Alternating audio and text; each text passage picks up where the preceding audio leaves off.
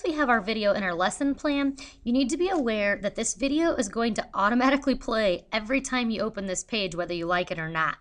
Now, that might be fine, that might be what you're going for. But if you do not want this video to play automatically until you tell it to, you need to set it to do that.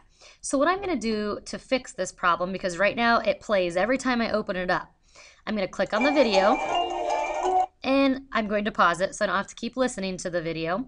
Then up here in my browsers, I'm going to choose the fifth choice, which is a white piece of paper that says Property Browser.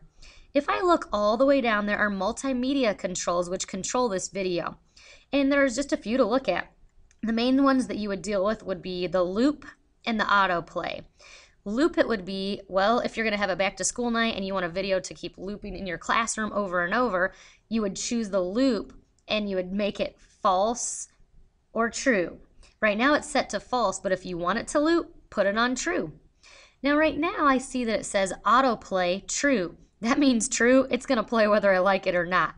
So I would set autoplay to false, which means that basically I am going to be the one that tells this video when to start when my lesson plan is running. So those two controls are very important for you to run that video during class and to feel like you're in control of the video.